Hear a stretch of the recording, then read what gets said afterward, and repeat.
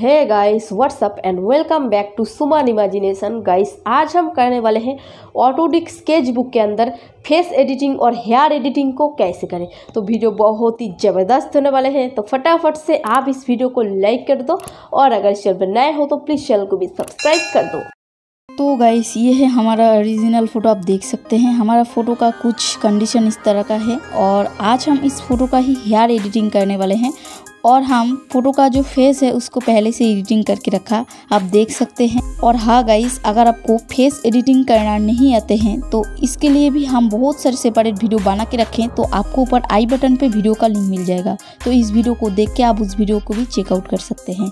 तो सबसे पहले हम फ़ोटो को शेयर कर देंगे ऑटोडिक स्केचबुक के अंदर। तो जैसे शेयर कर देंगे, आपके सामने कुछ इस टाइप का इंटरफेस आएगा।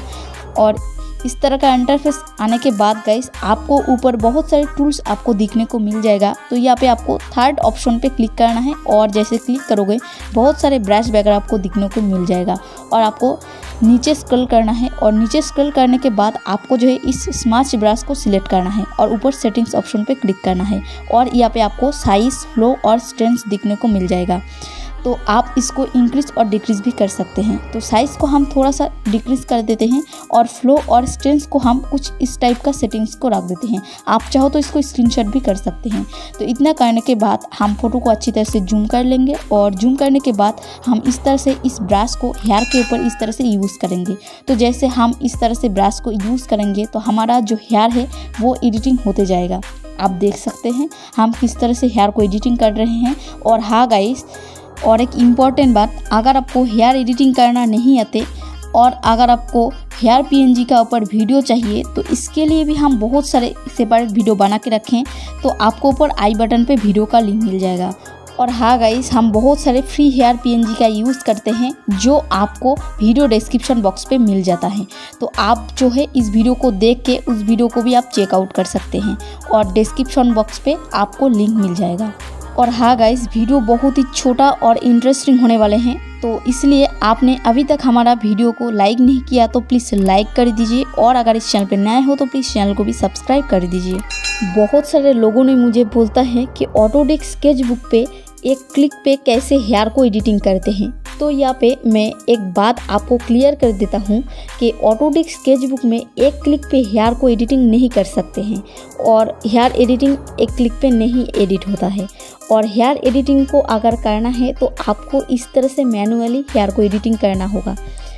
और अगर आपको फिर भी एक क्लिक पे ही हेयर को एडिटिंग करना है तो इसलिए आपको जो है हेयर पीएनजी का यूज़ करना है। और फ्री हेयर पीएनजी का लिंक वीडियो डिस्क्रिप्शन बॉक्स पे मिल जाएगा तो आप इजीली वहाँ पे जाके डाउनलोड कर सकते हैं। तो हेयर एडिटिंग को करने के बाद गाइस बहुत सारे लोगों ने बोलता है कि हेयर के ऊपर इस तरह से लाइन ड्रॉ कैसे करेंगे? तो आपको जो है कुछ भी नहीं करना है। उस ब्रश से ही आप इस तरह से अगर हेयर के ऊपर ड्रॉ करोगे तो आपका जो है हेयर के ऊपर इस तरह से लाइन ड्रॉ क्रिएट हो जाएगा। इसके लिए आपको कोई अलग सी टूल का ज़रूरत नहीं है। आप इस टूल से ही और सेम वही सेटिंग्स पे आप इस तरह से लाइन ड्रॉ भी क्रिएट कर सकते हैं। तो इतना करने के बाद गाइस हम फ़ोटो के ऊपर एक लाइट पीएनजी का यूज़ करेंगे। तो लाइट पीएनजी का लिंक जो है वीडियो डिस्क्रिप्शन बॉक्स पे मैं डाल दूँगा तो वहाँ से जाके आप डाउनलोड कर लेना। तो यहाँ पे मैं इंपोर्ट इमेज पे क्लिक करके यहाँ पे इस लाइट पिन जो को ऐड कर लेता हूँ और लेयर ऑप्शन पे क्लिक करके यहाँ पे ब्लेंडिंग मोड को नॉर्मल से हम स्किन कर देंगे। तो इतना करने के बाद हम सेकेंड ऑप्शन पे क्लिक करके ट्रांसफॉर्म पे क्लिक करेंगे और इस लाइट पीएनजी को सही पोजीशन पे हम सेट करेंगे। तो आप देख सकते हैं, हम इस पोजीशन पे रखते हैं। इतना करने के बाद गाइस हम और एक लाइट पीएनजी का यूज़ करेंगे। तो सेम हम वही प्रोसेस से हम दूसरा एक लाइट पीएनजी का ऐड करेंगे। तो सिंपली इंपोर्ट इमेज पे क्लिक करके हमारा लाइट पीएनजी को ऐड कर लेते हैं और इसके बाद इसका ब्लेंडिंग मोड को नॉर्मल से स्किन करके हम बैकग्राउंड के ऊपर अच्छी तरह से इसको सेट करेंगे।